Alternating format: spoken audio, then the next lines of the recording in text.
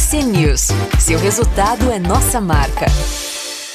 Todas as quartas-feiras nós temos o prazer e a honra em receber aqui na nossa programação um executivo representando uma companhia que tem capital aberto. Como sempre também para nos ajudar nesse processo, temos a participação luxuosa do nosso Gabriel Junqueira, que é contribuidor do TC, também comentarista aqui da nossa TC News, e hoje participa com a gente de maneira remota. Olá, Junqueira, seja muito bem-vindo. Boa tarde para você.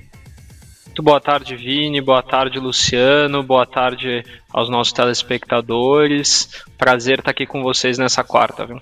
O prazer é nosso. Então o Junqueira vai ajudar a gente com as perguntas, o Luciano Costa também, e eu sou a ponte entre você, investidor e investidora que nos acompanha de qualquer lugar do Brasil e do mundo, e o nosso convidado. Eu tenho o prazer e a honra de receber aqui o Vanderlei Rigatieri, ele que é CEO da WDC Networks. Vanderlei, muito obrigado pelo espaço na agenda. É uma honra recebê-lo aqui nos nossos estúdios. Agradeço também a gentileza de estar aqui com a gente para essa conversa de maneira presencial. Seja muito bem-vindo.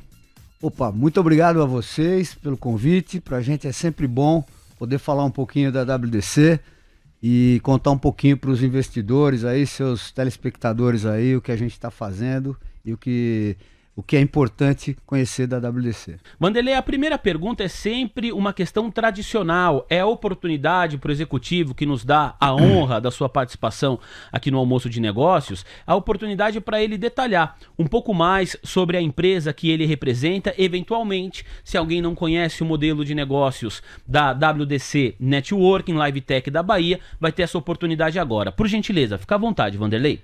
Muito bom. Bom, a WDC, né? É, vocês sabem que o meu nome é Vanderlei, mas é Vanderlei com V.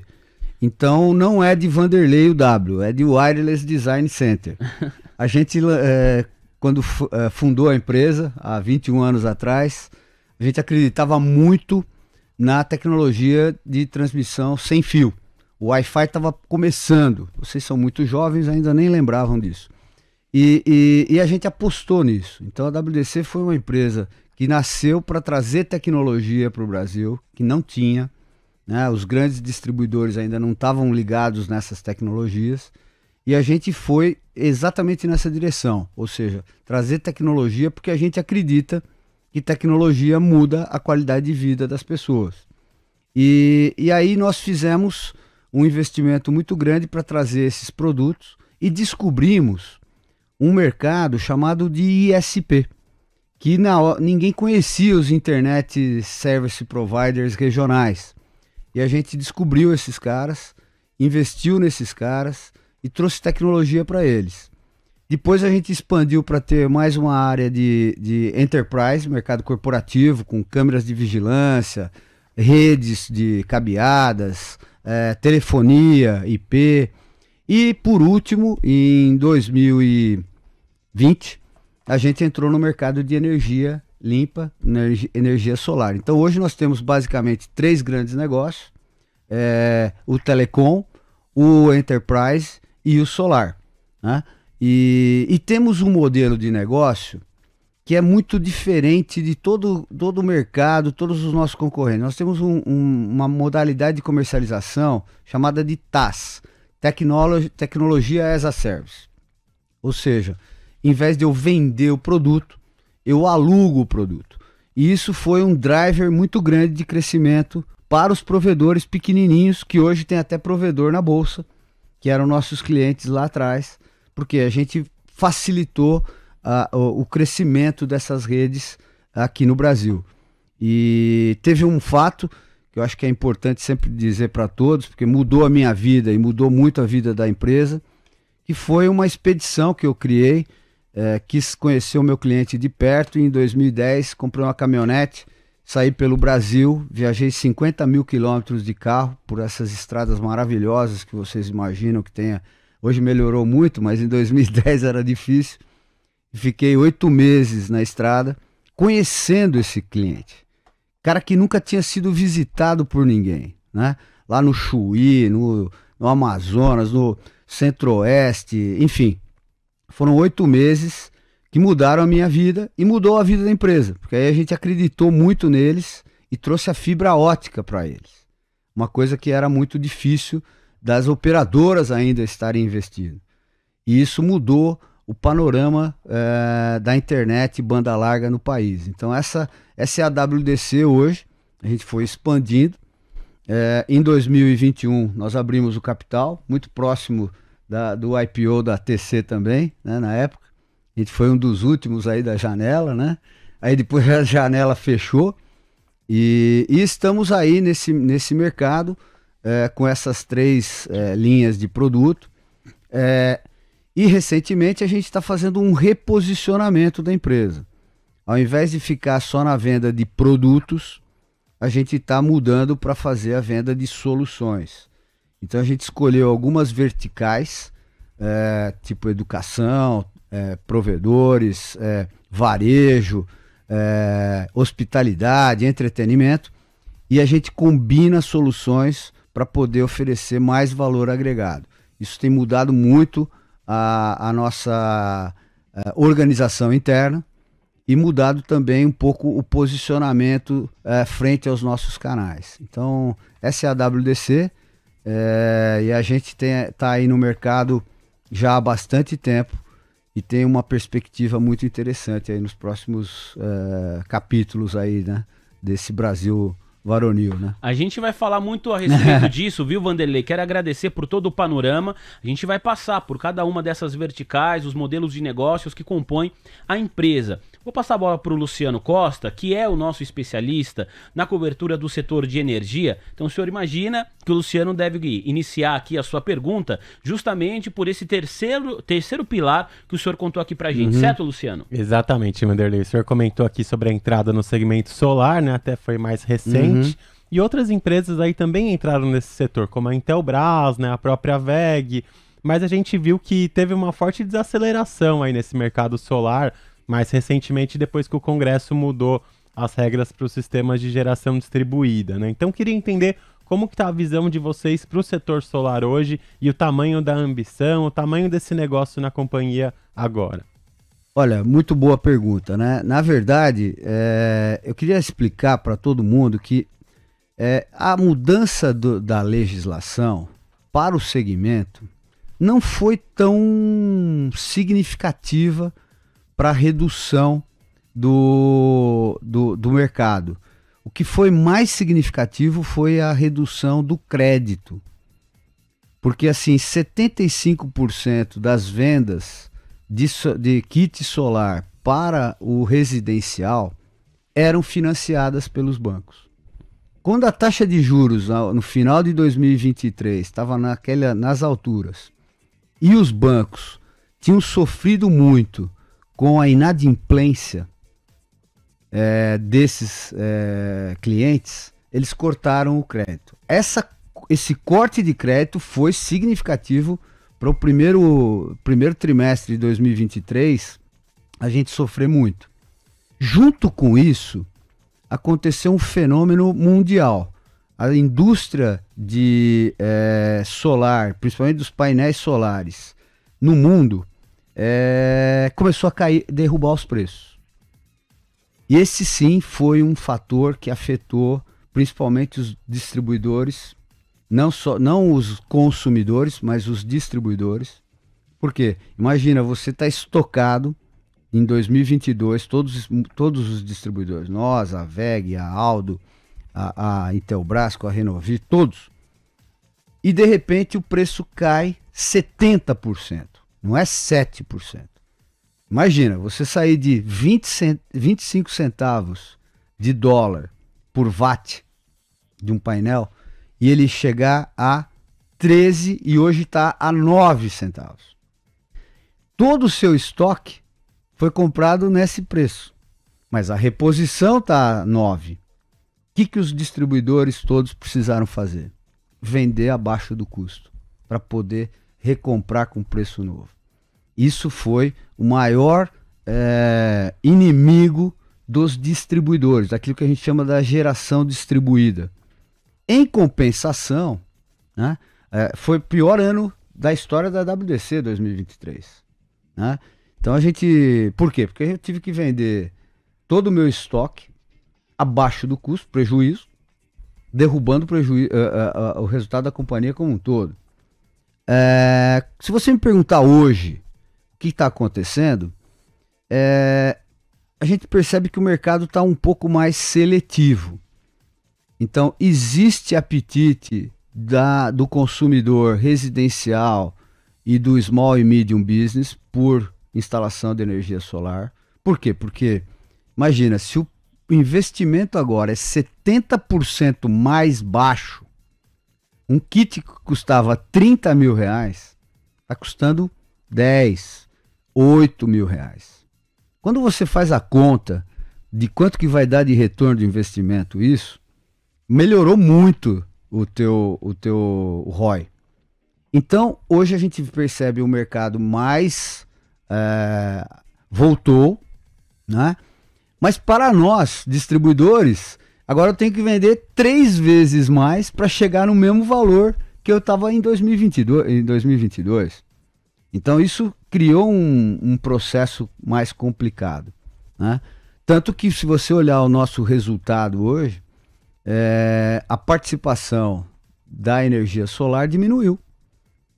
Claro, porque o valor de, de era é, é caiu 70%. É, em termos de watts, estamos vendendo mais ou menos aquilo que a gente estava lá no começo, mas em termos de reais é muito mais baixo. Né? Então esse é o fator aí preponderante do solar. A gente vai voltar a falar a respeito desse segmento. Uhum. Antes, quero colocar aqui nessa conversa o Gabriel Junqueira, nosso comentarista do Almoço de Negócios, comentarista da TC News. Por gentileza, Junqueira, sua primeira pergunta. Muito boa tarde, Vanderlei. Um prazer estar conversando com você. Eu queria fazer uma pergunta justamente do modelo único que vocês têm na WDC, esse modelo de TAS. Muitos investidores até confundem com o modelo de SaaS que a gente vê em algumas empresas como a TOTUS e a Local é. Web. Como é que funciona o TAS de vocês? Olha, é, excelente pergunta, viu? Porque eu acredito que é, esse talvez seja o maior ponto é, que o mercado ainda não entende. O que nós fazemos é um negócio muito simples, gente. A gente é, é, importa o produto ou produz o produto e esse produto, nós fazemos o CAPEX e alugamos o produto em 60 meses para o cliente. Então, o que a gente está fazendo é transformando uma aquisição de tecnologia num aluguel da tecnologia. É muito parecido, sim, com o SaaS.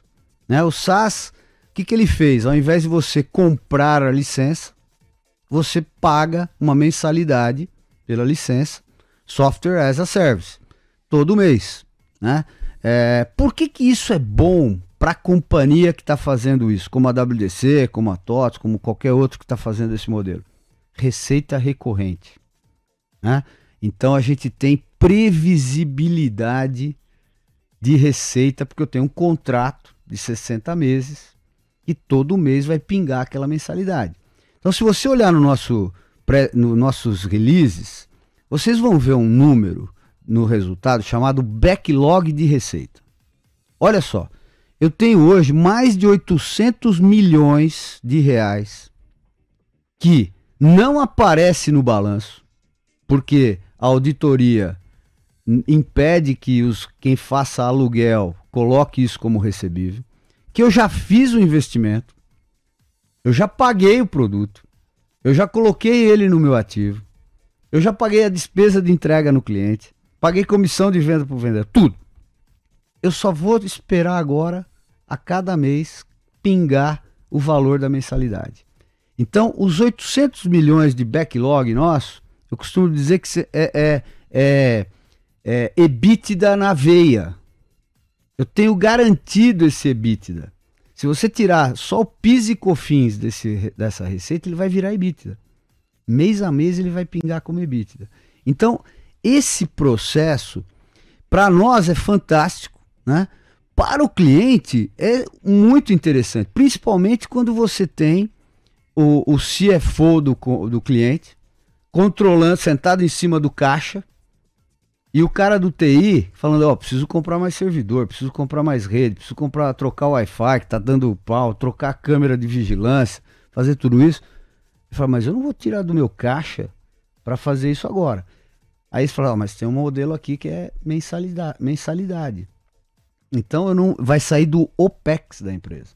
Então, esse modelo no mundo inteiro, ele é super é, é, usado. Né? É, a infraestrutura é, é, é, como serviço, o software como serviço, e a gente pegou tudo que é a tecnologia que a gente vende e transformou nesse modelo. Então, é, é, agora, ele não aparece no balanço. Aí quando eu, eu, brinco, né? Quando o analista, né? De, que tem a sua planilha lá, que fala assim, vamos pegar os dados do balanço e preencher na minha planilha aqui, ele não vê isso. Então, isso é um super é, resultado já garantido dentro da companhia. Tá? Muito obrigado, muito obrigado, Vanderlei. Olha, tem algumas perguntas chegando. É muito legal essa oportunidade que a gente oferece para os nossos telespectadores, que sempre recebe tão bem os nossos convidados, de conhecer mais e melhor uma companhia. Então já vou fazer a pergunta de quem está uh, questionando aqui a relação e o impacto da variação cambial no modelo de negócio da WDC. Eu só vou antes com a pergunta do Thiago Fernandes, que é CFO aqui do TC, e que quando soube que nós iríamos conversar com você, viu, Vanderlei? Uhum. É, já trabalhou na área de telecom, então ele Legal. falou: olha, se você puder fazer uma pergunta, claro que sim, Thiago mandou várias perguntas, separei uma aqui em especial. Antes disso, só para pontuar, André, Andrezão, solta o sininho aí. Máxima intradiária para o Ibovespa. O Ibov acaba de renovar, máxima do dia, cota 129.618 pontos agora, sobe 0,39%. O Dolfut que renovou máxima do dia lá atrás, na região de R$ 5,496, agora continua subindo, mas arrefece o movimento de alta, agora é negociado a R$ 5,484, 0,92% de elevação. Vamos lá, retomando aqui a nossa conversa com o CEO da WDC Networks. A pergunta do Thiago Fernandes, diretor financeiro aqui do TC.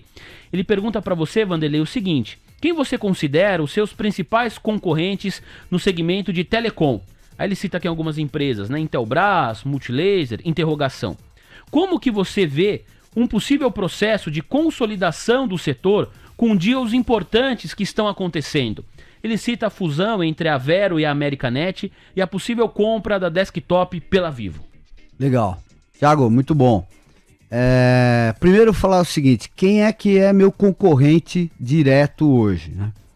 É, eu tenho vários concorrentes porque a gente está em vários mercados.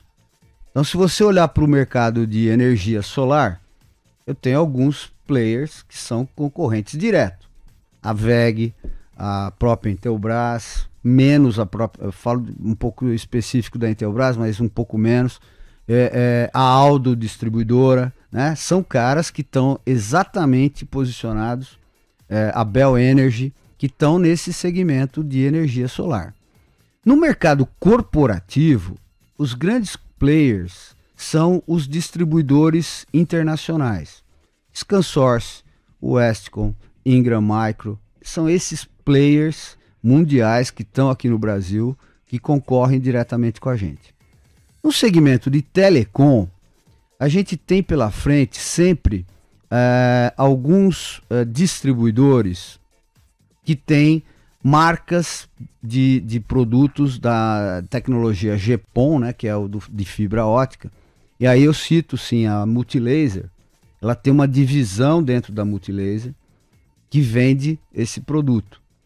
É muito pequeno perto da Multilaser como um todo, porque a Multilaser é uma empresa muito mais de consumer marketing do que qualquer outra coisa. Sim. A Intelbras tem alguns produtos e recentemente fechou uma parceria com a Fiber Home, que era nosso fornecedor também, e está tentando entrar nesse segmento de provedores. É, e aí depois eu tenho vários distribuidores menores, é, super especializados, que estão vendendo para os provedores de internet. Então o, o, mercado é muito pulverizado. Né? É, se você falar assim para mim, qual é o, pro, é o distribuidor ou qual é o concorrente que você queria que que desaparecesse, né? Tivesse uma varinha mágica, é difícil de dizer hoje. Porque por causa desses três segmentos da WDC. E eu digo para você que é, nada foi mais acertado na estratégia da WDC é, do que diversificar uh, os segmentos. Porque assim, eu lembro da época do IPO, a gente falou muito sobre isso. é, todo mundo, os, os, fundos de investimento falavam assim, mas por que, que você não fica só no telecom? O telecom tá tão bom, 2021, 2020 tava bombando. 2022 explodiu por causa da pandemia. Né? Foi um pico de, de, de venda de banda larga. Todo mundo foi para cá. melhorar também a velocidade da internet claro, em casa, claro. ia trabalhar de casa. Tinha que, é, veja, eu tinha que fazer videoconferência da minha casa. Né? As redes de internet, só para vocês saberem, elas foram configuradas para fazer download. Você digita lá www.tc.com.br e vem um monte de informação. Na hora que você tem que fazer uma videoconferência, você tem que mandar sua imagem para ele. O upload é diferente. O upload é diferente. Então, isso demandou muito do nosso produto. Mas a gente tinha certeza que isso ia ser, é, um, ia acontecer um, um platô. Porque assim, é, você não consegue vender para a mesma residência é, 10 acessos de internet, né? Sim. Então a gente sabia que tinha um limitante, por isso que a gente diversificou. Se você for ver os resultados do primeiro trimestre desse ano, você vê que o mercado corporativo da WDC está crescendo muito mais do que o telecom e está assumindo um protagonismo muito maior, né, por causa dos, das tecnologias que a gente colocou lá. Então, é, eu acho que essa é a visão que a gente tem aí. É, sobre essa outra questão que ele é, falou, né, do, consolidação do, da consolidação, veja, eu acho que todos eles, principalmente os maiores, estão buscando uma alternativa. Porque assim, como as janelas de IPO né, estão fechadas e todo mundo estava na boca para fazer IPO, né? Vero, uh, Americanet, é, Aloha, é, todos esses caras que cresceram, Bra Brasil Tech Par, todos eles, o sonho deles era ir para o mercado. É, ou ser comprado por uma operadora. Né? Então, é, é, como é que eu faço isso quando está tudo fechado? Nível de endividamento deles não está muito, não tá fraco, está bem alto, porque eles compraram muita gente, tomaram dívida numa taxa de juros mais alta, né, que a gente tem que lembrar, o Brasil não é, não é para amadores, né? Sim. não é para amadores. Não é para amadores, né? Essa taxa de juros aí é para derrubar qualquer é, é, planejamento que você possa fazer. Então, eu acho que essa consolidação está é, é, tá sendo uma alternativa para superar esse período, para ver o que vai acontecer. É, o que eu sinto é que tem poucos desses é, provedores grandes que têm a vocação de ser operadora. Os fundos de investimento que entraram é, querem sair uma hora é natural, faz parte do jogo. E, está demorando muito essa, essa oportunidade de saída. Então, é, eu vejo que é, esses são os movimentos alternativos de M&A. Tipo, vai acontecer mais alguns, eu acho. Não tem não, tem que tem que acontecer para ter um volume maior, para ficar um, uma operação maior, né? E, e o que acontece é que os pequenos é, ficaram um pouco frustrados também. A gente tem falar com eles, porque eles estavam esperando ali, pô, me comprem, me comprem, me comprem, né? E esse movimento deu uma arrefecida ultimamente. É, até porque as empresas que têm dinheiro em caixa avalia muito se vale ou não fazer vale esse investimento agora. Com a taxa de juros nessa altura. Sim. É. O, olha, nós temos três minutos aqui de conversa. Conversa boa, passa rápido, a nossa tá voando. O Luciano fez uma pergunta, o Junqueira também. Eu fiz a pergunta aqui do CFO do TC e não posso deixar o nosso público de fora dessa conversa. O pessoal que uh, perguntou aqui, uh, Vanderlei, para o senhor, como que a variação cambial impacta o seu modelo de negócio, esse modelo de negócio que é tão diverso. O senhor está explicando aqui essas três frentes, né? De uhum. enterprise, telecom e, e também solar. agora o segmento solar. Como que é a, esse impacto do dólar na WDC? Olha, essa é uma pergunta muito legal, porque o dólar para gente, ele, ele é praticamente transparente. Por quê? Porque como eu importo o produto e vendo o produto aqui no Brasil cotado em reais pela taxa do dólar Petax do dia anterior, eu tenho praticamente um head natural. Eu não preciso ficar muito preocupado com isso. Isso nunca afetou a gente muito forte. Porque eu estou comprando e vendendo em dólar. Né? Se o dólar sobe ou o dólar desce, é, faz parte do, tá do jogo. Está redeado, porque o meu estoque está redeado. E sem ter que gastar dinheiro com o banco para fazer um hedge. Porque eu não estou vendendo esse produto com uma, um preço fixo. Ele é o preço do dia. Então o dólar pega muito pouco a gente. É claro, se você falar assim para mim, putz, você gosta de dólar mais alto, o produto fica mais caro, naturalmente. Então a decisão de compra às vezes demora um pouco. Ah, mas você gosta que o dólar é, vá amanhã para 4? Não, porque aí o meu estoque também está com esse mesmo problema. O dólar para mim, se você perguntar, eu quero despacito. ou para cima ou para baixo, se ele for despacito, tá tudo bem.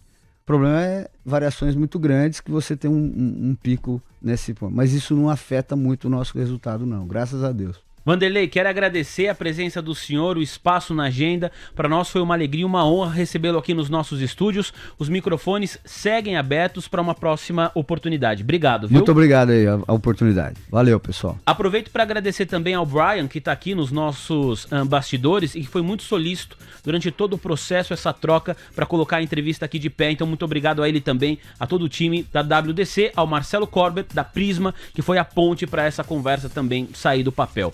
Luciano, vou me despedir de você primeiro. Valeu. Conversa excelente, hein, Luciano? Muito bom, Vinícius, muito interessante, né? E segmentos aí que estão em alta no mercado, tecnologia, né? Então, agradecer também aí o Vanderlei pela presença, pela participação. Eu me despeço agora do nosso Gabriel Junqueira. O Junqueira volta à programação do almoço de negócios na sexta-feira e na programação da TC News ele tá todos os dias ao seu lado na parte da manhã. Obrigado, viu, Junqueira? Tamo junto, meu amigo.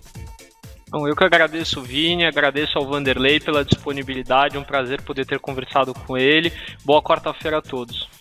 TC News. Seu resultado é nossa marca.